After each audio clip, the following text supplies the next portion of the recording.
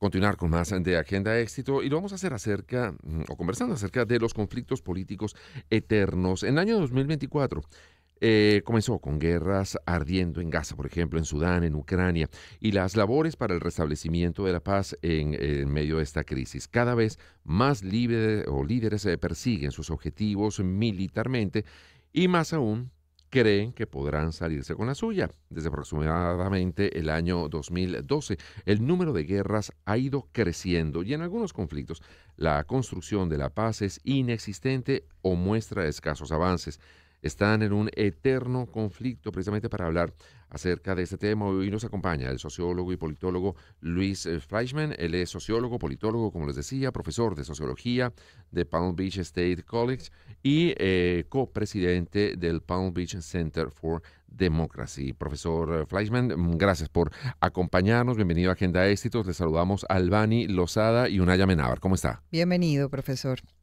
Hola, un placer, un placer estar con ustedes.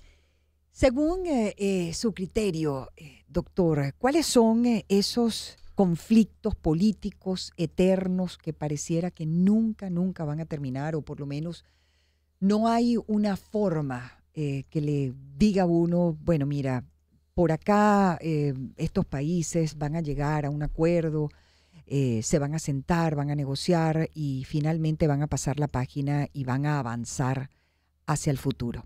¿Cuáles son esos políticos o esos conflictos políticos eternos que eh, aún existen en el mundo?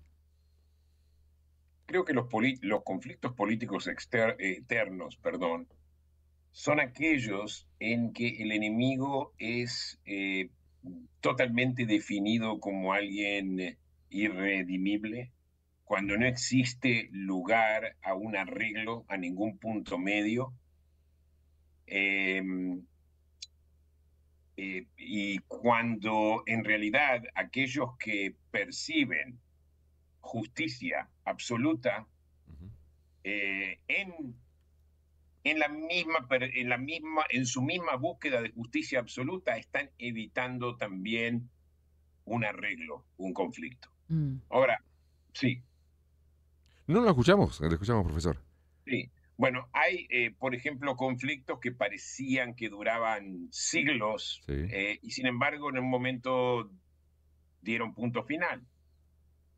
Por ejemplo, el conflicto que hubo entre Prusia y la, guerra, las guerras franco-prusianas, que después fueron guerras franco-alemanas, que se extendieron desde los años, eh, desde la segunda mitad del siglo XIX hasta después de la Segunda Guerra Mundial, que ahí hubo finalmente reconciliación un proceso de reconciliación entre Francia y Alemania, ¿verdad? Hasta el punto que hoy en día son aliados, eh, parte de la Unión Europea, etcétera, ¿no? Prácticamente no hay fronteras entre ellos. Después hubo, eh, después tenemos el conflicto de Medio Oriente entre Israel y los palestinos, que justamente es el caso donde las demandas de uno de los lados es una demanda de justicia absoluta, queremos recuperar aquellas tierras que perdimos en la guerra del año 48, eh, en las guerras que perdimos en el año 67, y de hecho, eh, una vez consumado el hecho y la creación del Estado de Israel, la búsqueda de justicia absoluta simplemente significa, eh, significa guerra permanente. Mm. Por ejemplo, si los palestinos quieren recuperar las, las llaves de sus casas y las casas que en algún momento fueron suyas, y los árboles de oliva que alguna vez fueron suyas, eso ya no va a ocurrir. Porque el Estado de Israel fue creado, hubo avances y en este momento cualquier, cualquier paso dedicado a restaurar una situación a casi 80 años atrás significa la destrucción de algo ya construido, significa la destrucción del otro. Y mientras esto se mantenga, yo creo que el conflicto va a permanecer.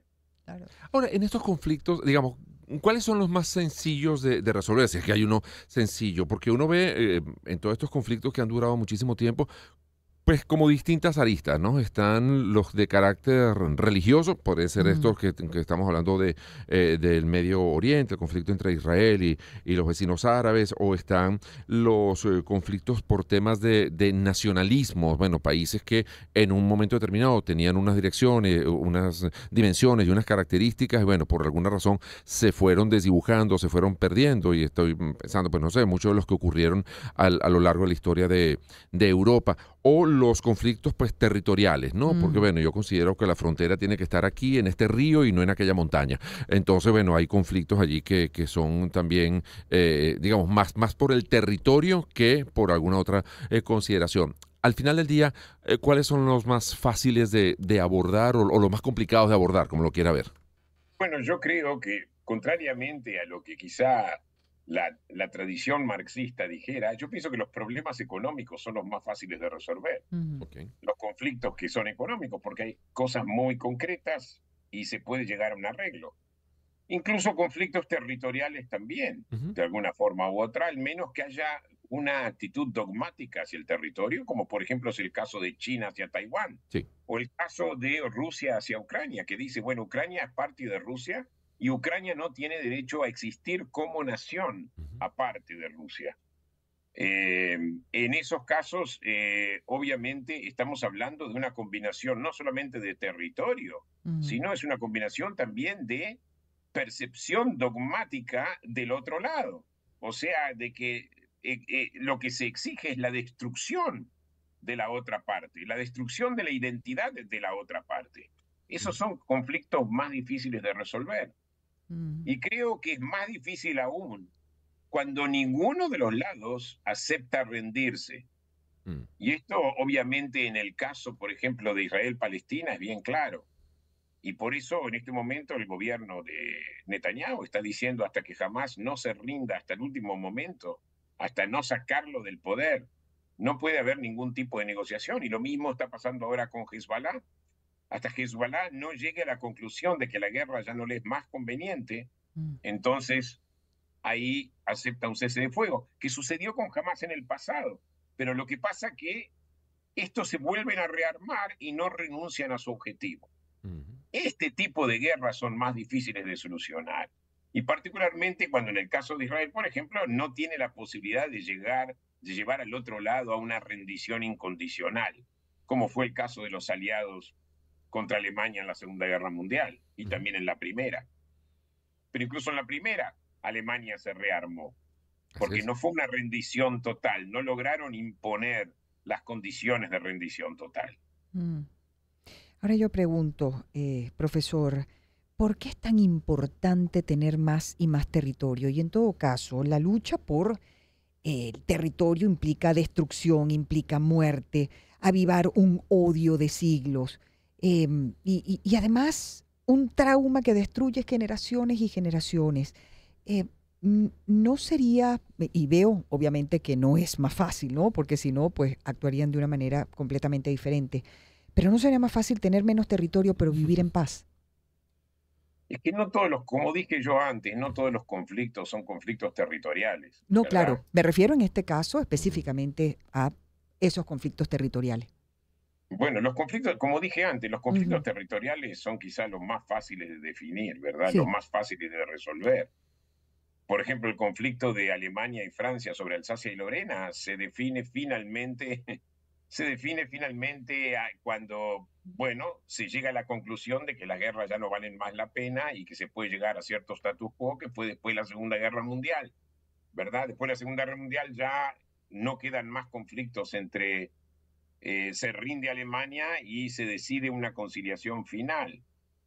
El problema es cuando a veces hay batallas sobre símbolos. Por ejemplo, por ejemplo, agarremos el caso de Hamas. Ellos quieren la destrucción. O el caso de Irán. Por ejemplo, Irán nunca tuvo conflicto territorial con Israel.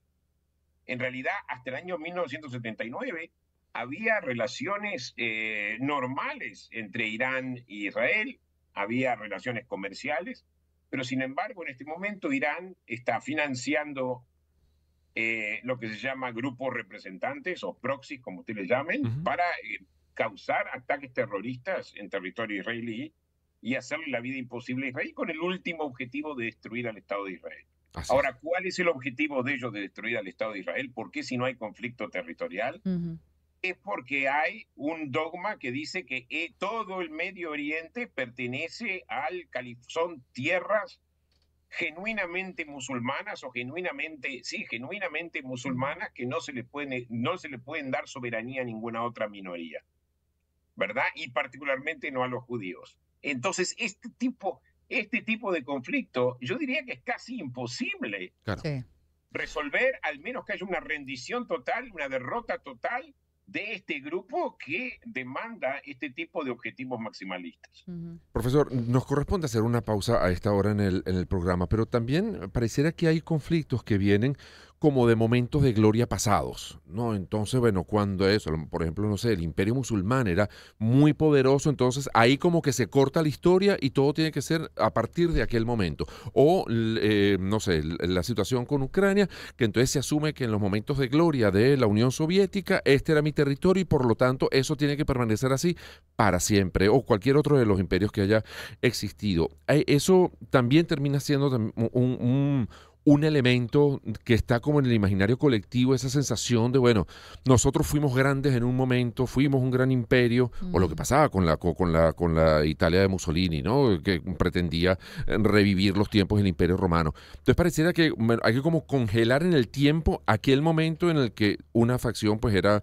Eh, eh, era pues, brillante, todopoderosa, etcétera, etcétera. Y sobre todo, y me gustaría saber también qué pasa con cuando surgen estas figuras mm, como de pacificadores, de mediadores, de personas que están tratando de llegar a un arreglo y son como mm, casi que automáticamente tachados de traidores a, las causas. Eso pareciera que también aviva permanentemente el, conflicto para que esa, esa, guerra o ese conflicto no, no termine nunca. Pero bueno, seguimos abordando este tema luego de la pausa. Lo estamos haciendo con el profesor Luis Fleischman, sociólogo, politólogo, profesor de sociología de Palm Beach State College y, de, eh, y es copresidente del Palm Beach Center for Democracy. Ya venimos. Empezamos el año en su compañía. Circuito Éxitos.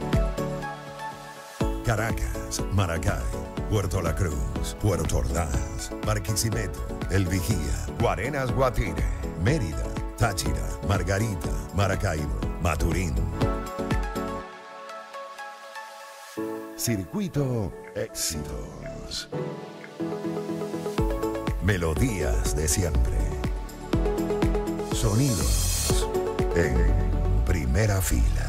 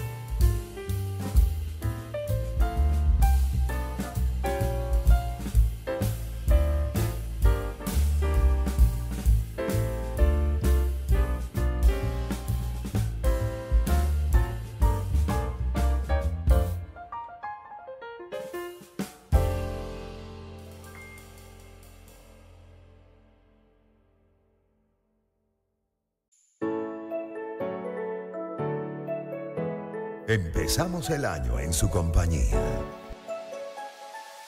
Circuito Éxitos.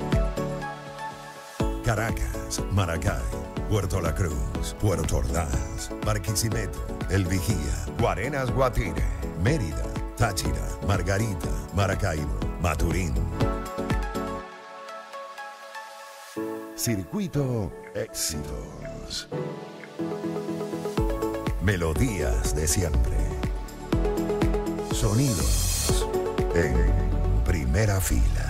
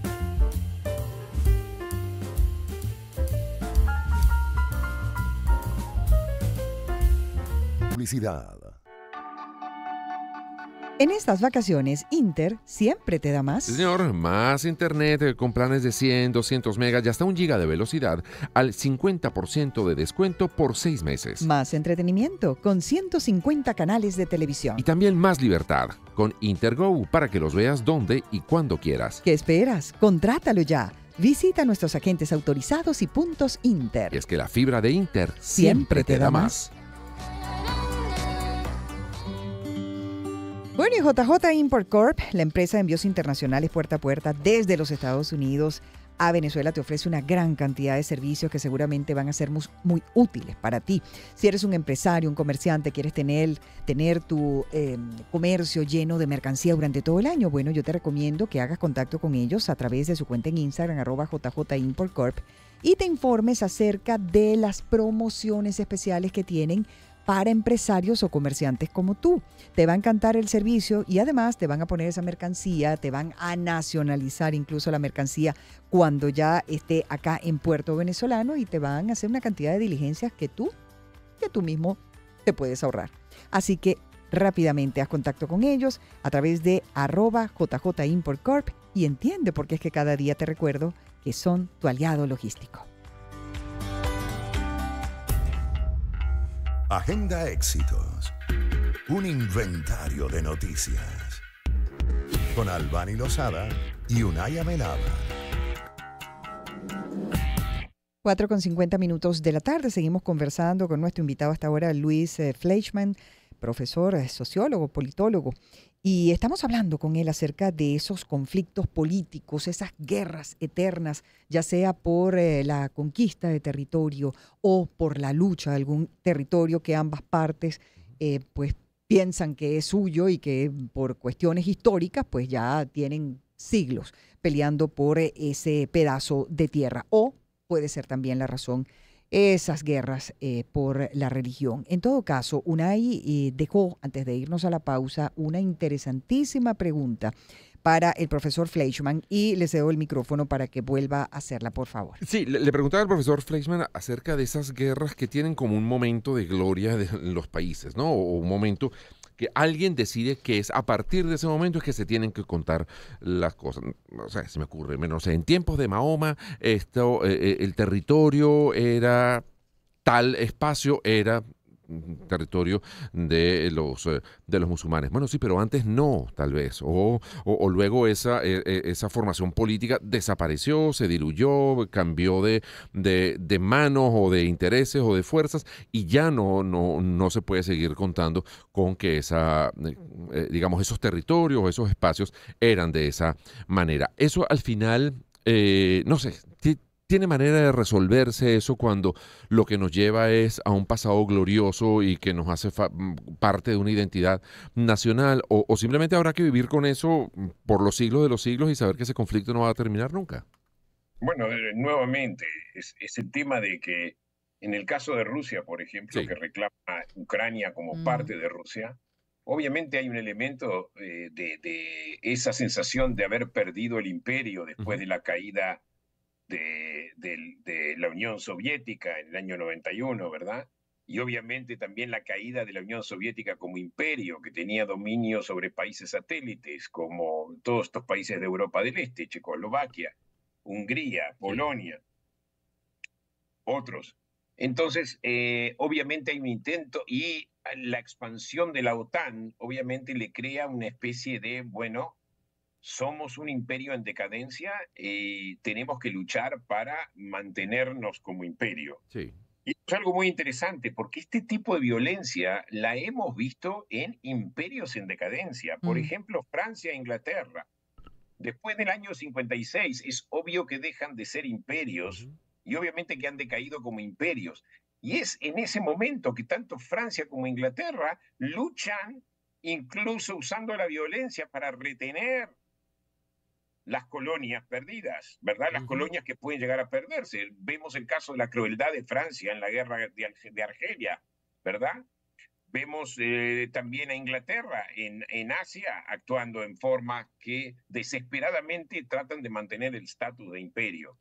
Y creo que en este momento Rusia está haciendo exactamente lo mismo con la guerra de Ucrania. Es como tú dices, eso es una guerra de honor, una guerra de honor nacional, de honor imperial y creo que lo mismo, pero en forma mucho más eh, religiosa, diría yo, eh, sucede con eh, movimientos como Al-Qaeda o, y más, más que Al-Qaeda, incluso la, la, el Estado Islámico, que en realidad intenta restaurar el califato ya perdido hace mucho tiempo. El Imperio Otomano cae, el último imperio de califato en caer fue el Imperio Otomano hace ya 100 años, un poquito más de 100 años, y eh, intentar restaurar algo, una causa tan, tan perdida y tan añeja, y con motivos religiosos, usando incluso símbolos religiosos, ¿verdad?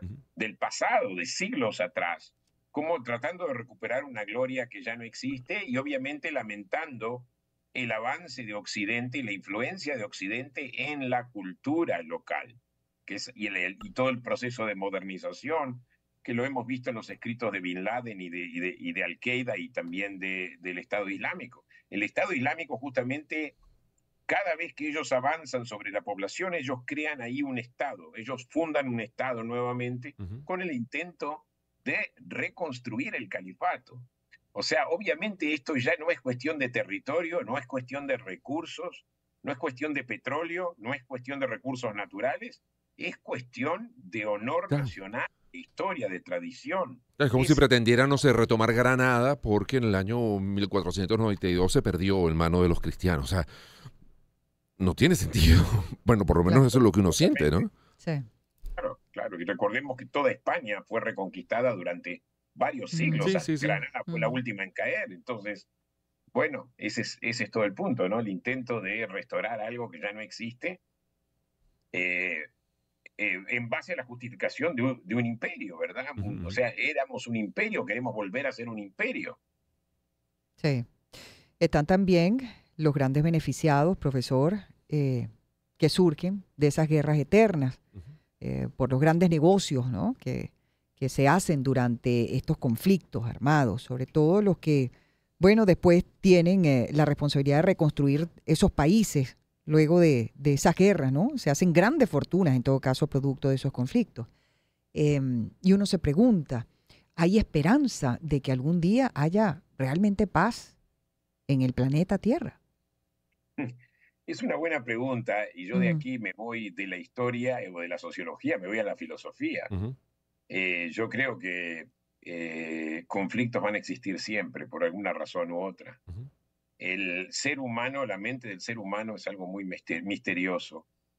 Eh, no la podemos juzgar en forma racional. ¿Qué es lo que busca Bin Laden? ¿Qué interés tiene? Bueno, no tiene ningún interés excepto esa idea de recuperar el imperio islámico, ¿verdad? Esa idea de, de que estamos siendo subordinados y estamos siendo ninguneados, por así decir, por el occidente. Así es. Eh, entonces, y, la gente piensa, hay guerras que son por diferentes motivos y diferentes razones. Recordemos que el hombre construye su realidad. Eh, por ejemplo, te traigo el, ejemplo, eh, un ejemplo es, por ejemplo, que lo trajo el profesor, eh, perdón, tengo un momento de demencia, perdón. no se preocupe de eso. Eso, estamos eso lo vivimos a diario. de que, por ejemplo, las luchas sobre lo que se llaman los, eh, eh, los lugares sagrados, ¿verdad? En el Medio Oriente. Sí. es, bueno, uno ve un montón de piedras, pero hay, hay, un colectivo social que definió esos lugares como sagrados y la gente está dispuesta a morir por lugares sagrados, ¿verdad? Eh, eh, y los símbolos, y pensar, piensen en, en, el rol que ocupan los símbolos, ¿verdad? Absolutamente. Me refería al profesor Yuval Harari. Ok. qué bueno, qué bueno que recuperó. Volvió la memoria. Gracias, profesor. Lamentablemente el tiempo, esa batalla siempre la tenemos perdida y no hay manera, no, no hay nada que hacer contra, contra el tiempo, pero le agradecemos enormemente que nos haya acompañado durante estos minutos para analizar eh, y revisar muchos de estos casos que sí, pareciera que es una constante que nos lleva a estar permanentemente en conflicto. Muchísimas gracias al profesor Luis Fleischman, sociólogo y eh, politólogo, profesor de sociología del Palm Beach State College. 4,58. Noticias al día. El país, Sánchez ve con